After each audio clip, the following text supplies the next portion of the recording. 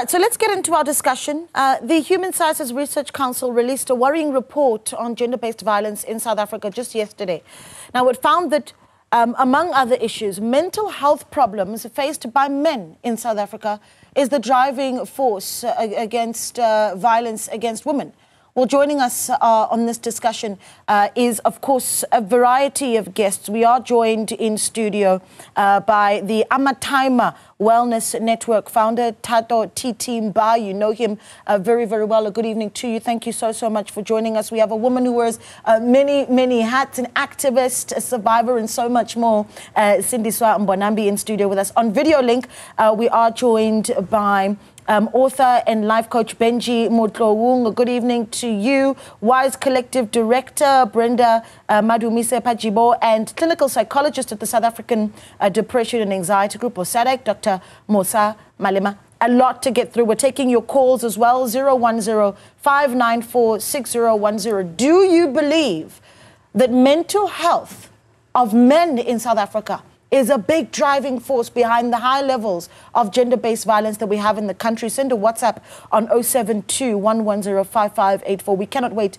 to get your thoughts. I'm going to start with our guest here in studio. Um, this is actually a very difficult discussion because for some, and Titi, I'll let you start first. Of course, it is also International Men's Day, so happy International Men's Day to you, you. Um, and, and to Benji. Um, and, and in the spirit of that, I'll let you go first this is a really difficult discussion because some might argue, well, that makes excuses for violence against women and children as we get closer to uh, 16 days of activism. But you hear that uh, the, the, I suppose, what's coming out of the Human Sciences Research Council. Do you agree with it?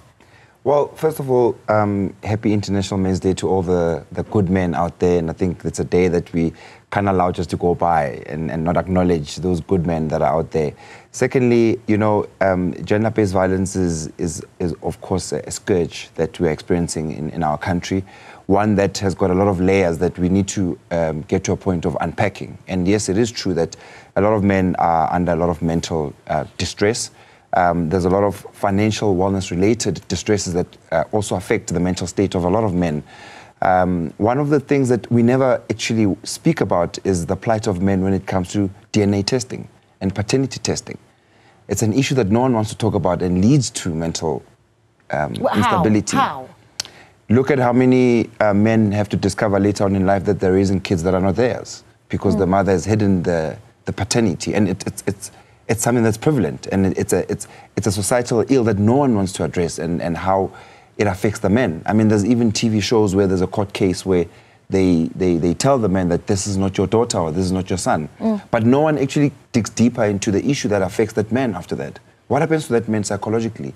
Um, it is another form of gender-based violence if you think about it, but no one wants to talk about it. Mm. Yeah, that's a lot that you're saying there because you've touched on financial stresses, and I think that if you look at the unemployment numbers, it's a big factor. And again, and I need to keep reiterating this over and over again there is no excuse for gender based violence. That we need to, I think, all agree on um, on this panel. But certainly the driving forces behind the mentality of South African men needs to be analysed. Uh, Sindiswa I want to let you uh, step in here. Mm. You're a survivor, right? Yes.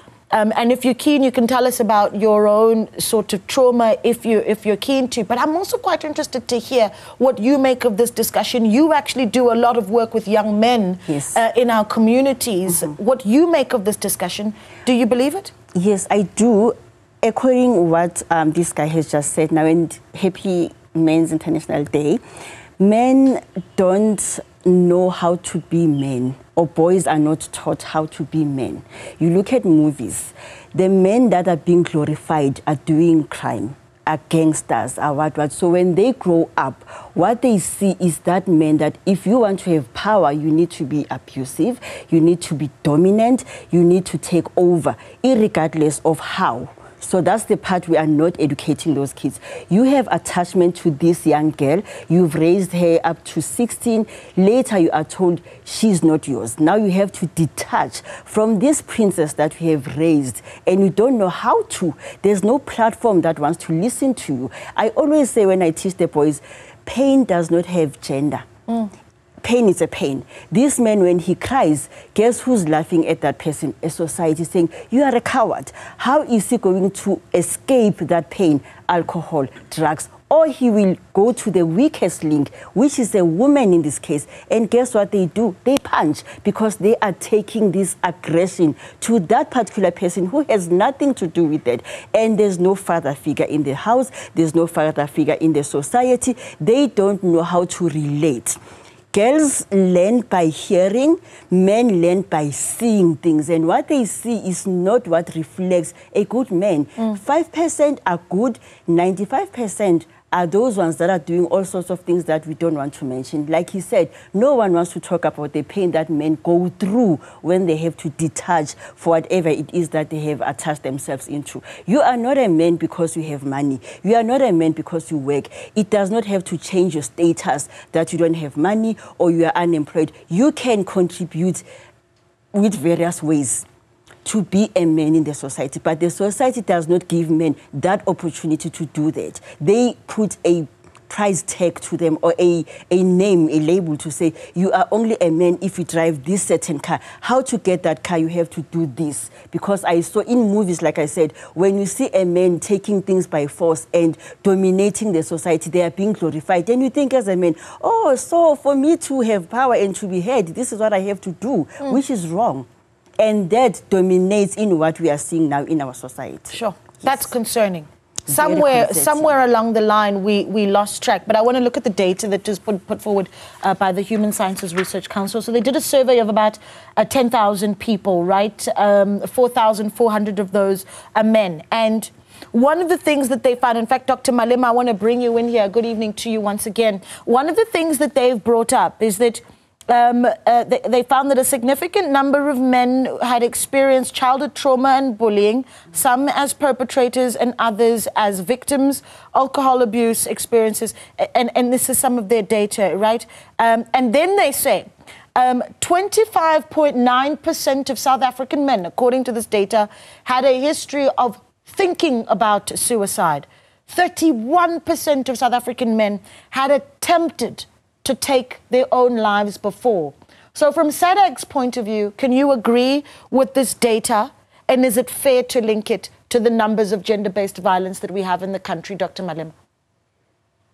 Uh, yes, uh, good evening to you and the, the, viewers. So, most definitely, when there's a history of trauma, there would be a predisposition or a risk of developing mental illness. And even if it's not mental illness, it's going to be emotional development that is impaired, or it's going to be behaviors that are also quite maladaptive. So, when there is that link between trauma and behaviors in adult life, relating to others' emotional regulation, um, managing conflict, and not knowing that violence is not a way of managing conflict. Mm. So, definitely, we would have situations where there is gender based violence which is a maladaptive behavior and an unhealthy way of resolving conflict that is definitely linked to yeah. those historical uh, traumas. Uh, to just quickly, let's stay with you, Dr. Malema. Do men reach out, though? Sorry, do men reach do men out reach out? help? Uh, yes, they do reach out, but I still think that we, we still do have a long way to go.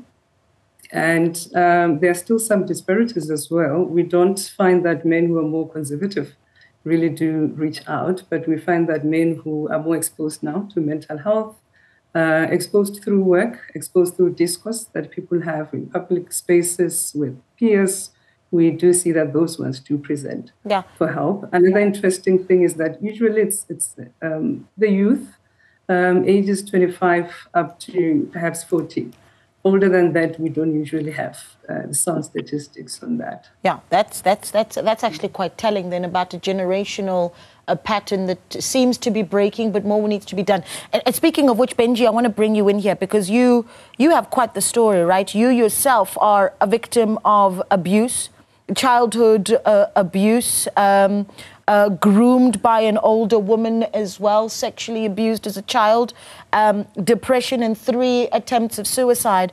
Um, but and you've written a book, and you're also the founder of Open the Can of Worms. Such important work that I believe you do, and your story is so important. And perhaps you can share with us about what you make of this very discussion. But one of the things that I found particularly interesting is uh, the fact that in your own story, there isn't a link to all the abuse that you've suffered and you're acting out by violence against women. So, what do you make of this discussion? Are we making excuses? Yes and no. Thank you for having me. Um, look, I'm not a victim anymore, I'm a victor. Mm-hmm. But now the million dollar question is how many men out there or how many boys out there are going through what I went through or have gone through what I went through, but could not receive the grace that I got. One of the things I say when I talk to inmates is that the difference between me and you is that you're wearing orange overalls. I could have been with you behind bars, but by the grace, I am here talking to you. Now, the truth of the matter is that we today we're talking about men. We're celebrating Men's International Day. Mm. Um, that's good. That's good. However, I personally feel that we are not going to the root of the problem. Mm. We are a society that continues to try to fix the ceiling, while the reason why our ceiling is in trouble is because of our roof. Mm. We neglect a boy child. We don't allow him to be human. We don't allow him to express his pain, his feelings. Um, we don't pay attention to him. We hardly say, How was school? Who are your friends? Is anybody bullying you? And this boy child grows up with all these feelings and emotions suppressed because you can only blow a balloon up to so far. Now, when he becomes a man, the nearest person will pay the price for what happened to this boy since he was a child. In my case, by God's grace, I did not cause any physical harm to anyone, specifically to a woman. However, it caused harm to me. Hence, I became depressed and I tried taking my life. Mm. Why did I try taking my life? Stigma. Mm. We grew up hearing this from our parents that, you know, we shouldn't express how we feel. Our parents got it from their parents. It's a generational issue, it's a generational curse. It requires the, the, the adults of today, not only men, but even mothers of today, to go to a boy child and say, if anything is hurting you, talk to me about it. Mm. And it's okay to say it hurts. It's okay to cry. So that when this boy grows up, we will not have to have a problem about him being a monster.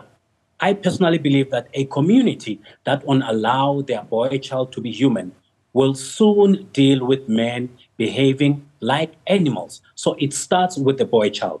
If we heal the men of today, then the men of today can go to their boys and say, Let me show you or let me teach you how to be a man. Mm. And it has got nothing to do with suppressing your feelings and emotions. Yeah. Um, uh, Brenda, I want to bring you in here because you do work with the WISE Collective. And, um, and what's interesting is you obviously represent women that have been victims of gender based violence. And I'm keen to hear what you think of this discussion.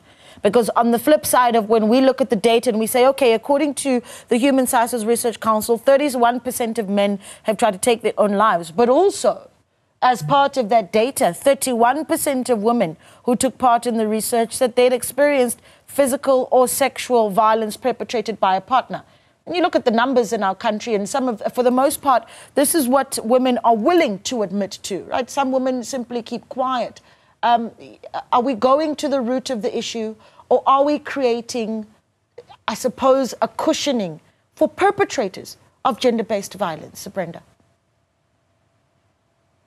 Good evening. No, I don't think we are we are we are offering or, or creating a, a, a shield for for anyone. I think let's be clear of the language that we use when we talk of gender based violence or gendered violence. We are including we including both men and women. Mm. So there's never been a time where men's abuse was was not spoken about. What what why we highlight women in the manner that we do is precisely because it's the highest in most instances. And we can't we can't argue with that with that because the data that you you're referring to ex- literally shows you all of that, right? The second aspect that I want to address is that the reason why most times the abuse that is suffered by men is not out in the public domain in, in the way women are is because of how machismo and masculinity is framed and how men look at themselves and believe that they cannot show their vulnerability at any given time because of how they are socialized, mm. right? And and we need to we need to accept all those things that we have done, right? We we still want to. Uh, there's this conversation that boys must be men, and when you go deep and ask the question, what does that mean? No one gives you a real answer. What a, a, what what constitute a man, right? And what what what what a man is supposed to, to be doing. In fact, in how we have been portraying men all over the world and even this country, it's about demonstrating control and power. Mm. And we need to be honest about that, that my masculinity gives me control and power. And that's why we believe that women are possessions. And that's why in the study, it will tell you that the men who have been interviewed told, told us that they want their women to obey them. That's control and power, right? Mm. So understand that mental health, substance abuse, patriarchy, norms and practices, cultural practices are all structural drivers of gender violence. It's not an excuse. We, we, we, we can't say because I was drunk, I became violent. It's not an excuse. You, it's, it's how it, we, we, we are accepting that it's a driver.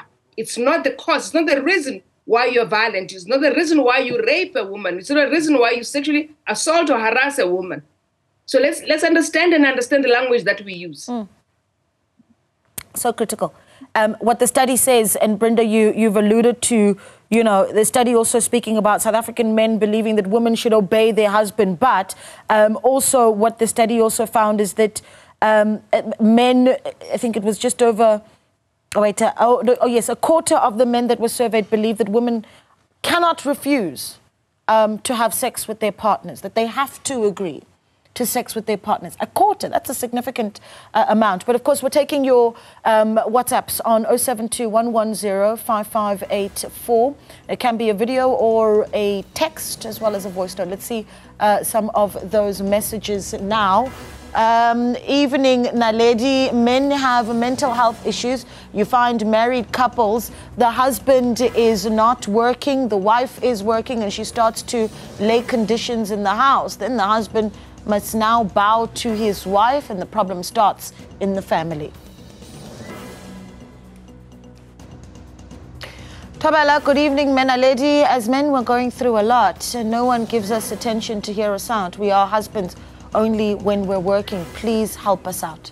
Anonymous. Again, and I, and I want to say this as these comments come in about the pressures of the pressures that men face. Um, how do our viewers connect this to the levels of gender-based violence? Let us know, right? Um, Dumelo says men must loosen up and think everything is upon uh, their shoulders. Uh, where one cannot carry a load, uh, they must speak out and ask for um, assistance. So keep those WhatsApps coming in. Um, and of course, we are also taking your calls on 010 Do we have a caller on the line? Okay, we will certainly uh, take those calls in a moment. Let's take a short break, though. We'll continue in a moment. All right, according to the Human Sciences Research Council, 31% of men uh, have uh, attempted or attempted to take their own lives. And then, of course, uh, speaks to some of the data that the uh, council has shared, saying that uh, the mental health crises of uh, South African men is a driving force um, in the gender-based violence numbers that we do see uh, in the country. And we're taking your calls on 0105946010 and your WhatsApps on 0721105584. You are watching Newsfeed PM, the late edition. Still in conversation with Amataima Wellness uh, Network founder Tato Titimba, gender-based violence survivor and a woman who does so much more, uh, particularly working with young men, vulnerable young men, uh, Sindiswa Mbonambi. Um, on our video link, we're joined by author and life coach Benji Mutloung, WISE Collective Director Brenda Madumise Pajibo, and uh, clinical psychologist with the South African Depression and Anxiety Group, Dr. Musa Malema. Um, I, I want to bring it back to you, TT, because you do work with Amataima. Yes. And through all of these issues that we've explored before the break, What we haven't talked about is the fathers in our lives. And I think what you do is so important. Talk to us about why it's so important to introduce the role of fatherhood. And if we have exemplary fathers sufficiently in the most vulnerable of our communities. So the Amatama, um, you know, Brotherhood Circle is really about the wellness of men, men who are single, married, divorced, and widowed. And we want to really take a, a, deeper dive into what really causes most of these issues that men experience, especially when it comes to fathering. A lot of us were raised by fathers who were strict, um, who had a particular way of doing things. And in many instances, most of us are actually broken. We are highly scarred as men, and we're carrying that, those scars onto the little ones as we, as we navigate this, this thing called fatherhood. And I think what we've done well in terms of you know, the Brotherhood Circle is create a platform through a WhatsApp group where you actually get to appreciate what men are going through. And through those stories that men get to share about what they are struggling with and challenges, actually come solutions. Mm. So in that group, you are able to navigate and understand that, you know, there are men who are in, in positions of power that you think don't actually go through depression, and they actually do. And this is actually a harsh reality that we are experiencing through, through through this group and, and we're getting to learn and, and unlearn a lot of things actually in terms of how we were raised. And I think that's, that's one of the things that we actually need to be deliberate about if we are to build a society of good men, that these boys can have role models to look up to. Because right now, it's pretty hard for these young boys to have role models who are actually broken. Yeah. I'm trying to imagine what it looks like to be in a room where a circle of men of different ages, different sort of social status is sitting together and having real heart to hearts about you know, the many challenges that they face and how they have enacted that in their daily lives. But we're going to take calls. Dumelo is on the line this evening. Dumelo, thank you so much for calling. Let us know where you're calling from and what are your thoughts on our discussion. Dumelo, good evening. Okay, Dumelo's dropped the phone. Uh, taking your calls on uh, 0105946010. When you speak to um, Sisinde, so some of the young men that you work with, um, some of them Nyaope addicts, and that speaks to some of the hopelessness, right? Um, talk to me about what conversations you hear from them about their relationship with women. Um, I'll tell you about a boy I spoke to recently. He's about 16. He was sexually abused by someone older because he wanted a phone. He does have a mom and dad, and now the feelings are dead because he does not connect with his peers. When you ask them, why are you doing this? I don't have a father. I don't know how to be a father. Men are wired to produce, to protect, and to provide. But what they are not told is how to do these things, how to provide, how to protect. Protecting to them is to use firearms, is to use violence, is to use domination, to say, I control you, you are my possession. They don't know those things. You ask one, why are you not doing something different? I've never seen anyone who is reading in my society. All I see is them driving fast cars. Mm. And for me, that fascinates me because these people are being glorified. I'll tell you about my story a bit. I was in an abusive relationship. This man did not know who he was for him to have power is to belittle me, is to break me. Then it gives him more power to say, I lead. When I say do this, you must say yes. So when I challenge, it was a issue for him because no one ever said no to him. Mm. So when I say no, it sounded like an insult to him to say, You can never tell me this until I spoke to his mom. And his mom said, This man did not have a father. He does not know because what we know, women are to love and to nature generally automatically it comes. If you see a child as a mom, you take care of them. Mm. A man does not know how to do this thing. Like I said, we glorify those people who are drug lords, who are gangsters, who are bosses. Outward, outward strength. Yes. Physical we, strength. Yes, and we do those things. So no one sits a man down and say, it's okay to cry. It's okay to break down. It's okay to feel the way you do. It's okay to do those yeah. things. Yeah, okay. Let's hear from Tumelo in Vereniging. Thanks for calling in, Tumelo. Good evening to you. What are your thoughts? Hi, Naledi. How are you? I'm well, sir. What do you think of our discussion? What do you, what Fine, you want to put on the table? Yes, and the listeners of Newsroom. You know, uh, Naledi, one thing that I normally share with guys is that the real power is with, is with you. Mm. As a person, you must have power to yourself. Because uh, I want to, to praise my mom, wherever she is now you know, that uh, you, you want to have a power on another person. Mm. And uh, when another person maybe is enough with you or maybe don't love you anymore, as a person, you must respect that. As a man, you must respect that.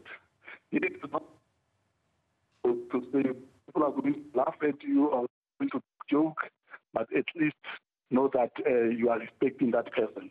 Mm.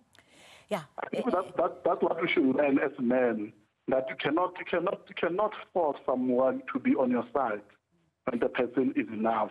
But here's the thing, be... Dumeloya, and I yes. hear the point because you're saying it as a as as a way of seeing your own power in your own life, but there is the psychological element of it, right?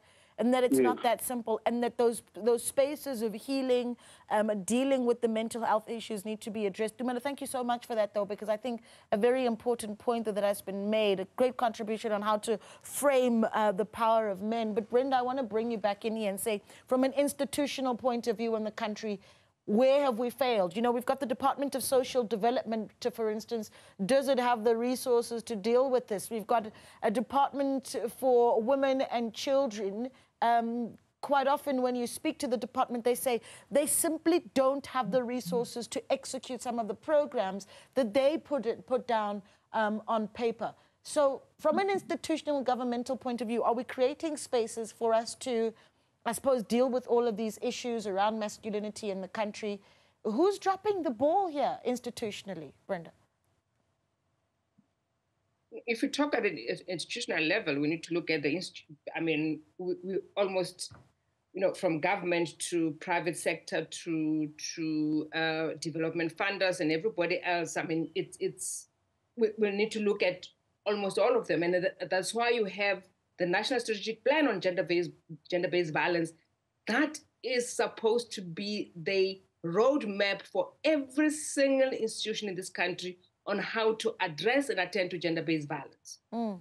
And if you ask the question now, how many private sector organizations, uh, how many government departments have got that document and understand its contents and understand what role they should be playing as a government de- uh, department is, is, dis- is dismal. And uh, we know that because we have interacted with, and we, we have asked the question, right?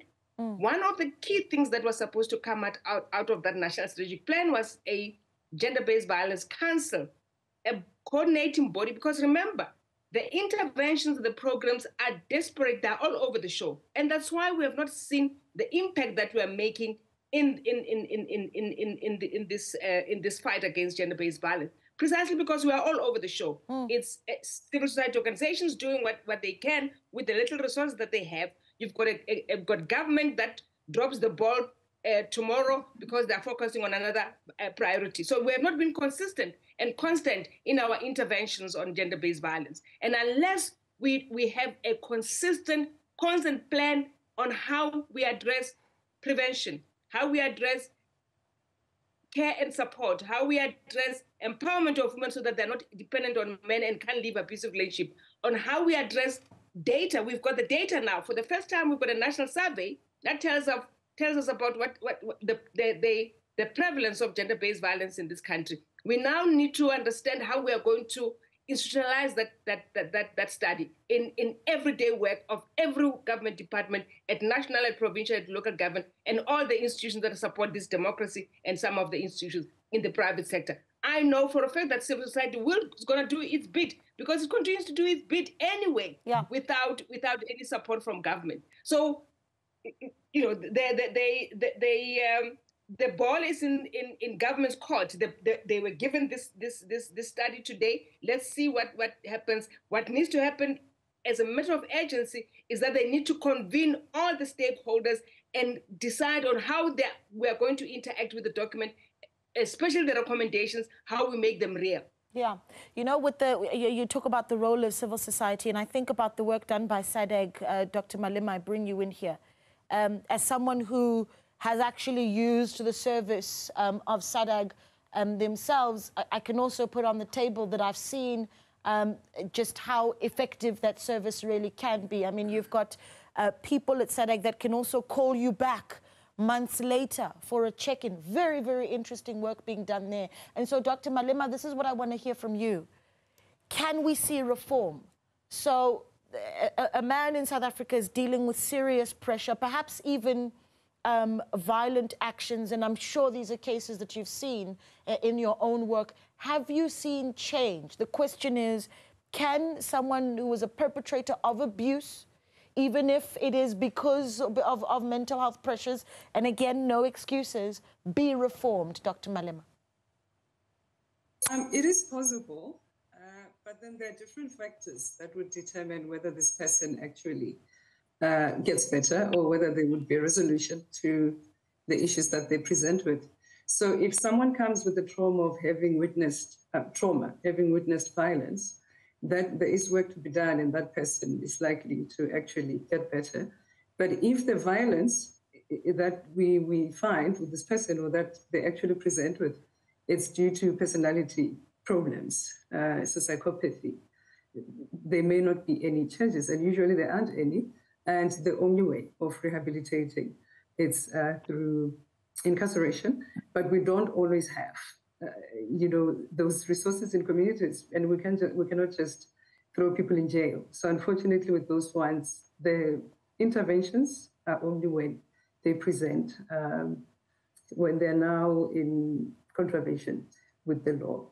But otherwise, if it's something related to emotional problems, it's related to trauma, there definitely is hope there. Mm, sure. And you reminded us. Um, did you hear that? I, I, you know, you know, I actually wanted to pick up on what she said earlier on about government and private sector involvement. Now, you know, we, we, we acknowledge the facts and the stats that say that the biggest perpetrators of gender-based violence are men. However, the biggest challenge is that when we, as organizations that focus on men and fathers and boys, put together events or interventions that need government and private sector support, we get rejected. Yeah. But put together a Women's Day event, you'll get sponsors galore. Now, how are we supposed to address some of these issues by creating platforms for men to be able to deal with the issue if we don't get the support from private sectors and, and government? And that's our biggest struggle as the Amatama Brotherhood Circle and many other men's forums that go out there to so, source or seek funding for us to actually have these summits Yeah. and conferences. And, and we just can't get the financial backing that we actually need to be able to address That's these issues. It's extremely that concerning. means that there's very little commitment to this cause. So not just in a societal level, but at, at, a, at, a, at an institutional level. I want to read this WhatsApp quickly. Uh, Peter Ndamu from uh, Men for God organization says, beautiful discussion that must lead to a working practical solution. How can one be in a WhatsApp group of Amataima? I want to be a social father, embracing more boys who experience the pain of absent fathers. I, I, I'm so encouraged by, you know, the people saying, okay, let's step forward and do something about it. Benji, I want to bring you back in here, though. Um, uh, the same question that I asked to Dr. Malema, I think I want to bring back to you, Benji, and that is, um, do you believe that abusers can be reformed? And again, Dr. Malema reiterating the fact that once you are um, an abuser, you have committed a crime. So part of that rehabilitation, because a crime has, to, has been committed, may very well need to be incarceration. But can we see uh, reform? Benji, do you believe in it?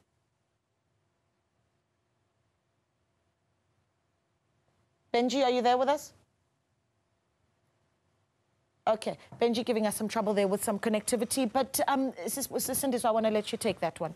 I, I believe that if there's a space, like they said, and consistency, men, you have to repeat it like a national anthem for them to hear it. They're very slow. Like I said, men learn by seeing things happen. They are action based. And women, we can, we can tell, chop it oh, on onion and do this and do this, they will do it. Men, you have to do it physically. But you doing it physical does not lessen him from being a man. Like I said, a lot of families, they know men to be, you have to have money, you have to have strength, you have to have this, you have to have that. If you don't have those things, if somebody committed a crime and they realize being taught this is what you were supposed to do then, now you can do better. I believe that when you know better, I'm a time, you will do better you will unlearn whatever it is that you have learned from your parents, which was not okay for you, and you can do better moving forward. They can be taught if they are given a space and an opportunity to hear what they are saying. They are not speaking our language, they speak through physical. Um, actions. Yeah. You need to speak that language, but in a loving manner, if I may put it like that. It needs to be seen. Yes, they need to Yeah. see how you do it. Hence, I'm saying in our society, there's no role models. They are there, but you pinpoint like stars. They are there, there, there. But when it comes to women, you put a proposal today, tomorrow the event is there. Mm. Men, either they laugh at you, either they think you are a coward, either who are they, who are you? What he knows is, oh, that guy, he owns five gangs, Eish. he owns two guns, yeah. he's doing this. I want to be like that one because there's no one who is studying in my society who is doing good. The ones who are doing good, I barely see them there. Yeah. All right. We're going to take we're going to take a quick caller. Peter's in Midrand. Peter, good evening. Thanks for calling. What are your thoughts? Thank you very much. Thank you for this beautiful opportunity mm. to say, men, you can just take the bull by the horn and say, let's do it. We have been passive recipients of things that are happening. It's high time that men should say, not in our name. I'm interested in addressing men who should make a difference, men in churches, men who are becoming abusive, you know, people are boxing churches, but they don't care about the God of the church. Men are singing choruses non-stop, but they don't care about the God of those choruses. Men should come out and say, this month, this thing should be, it's okay. It's yeah. okay to be vulnerable. It's okay to, it's okay to be okay. Okay to therapy, and this is how men can help. And as we wrap up this discussion around the findings of the Human Sciences uh, Research Council, that the mental health crises of men in South Africa is a big driving force uh, towards the high numbers of gender-based violence in the country. Let's look at where the opportunities are really to pluck it at the root. And we're going to uh, go through all of our guests now. Um, and Dr. Musa Malema, the South African Depression and Anxiety Group, and 20 seconds platforms that are available um, and opportunities for us to get to the root of mental health issues for men in the country. Uh, so it would be, you know, from the psychology point of view, it would of course be psychotherapy, and individuals accessing psychotherapy, and often they would be referred for programs within the context in which they're consulting, and then that can be taken over by other mental health care professionals like social work. Yeah, and, and then access to those services um, through public health uh, also possible, and the ones who can afford private health care can also access those services. Okay, so get in touch with SADAG for that. Benji, what are you working on? Well, we're working on healing men. We're working on healing the boy child. We're working on uh, trying to make society understand that both males and females are equally human. And um, we are available on this number 072 041 8029. 072 041 8029. Benji Mutlo on all social media platforms. 072 8029 Brenda, programs that you're running?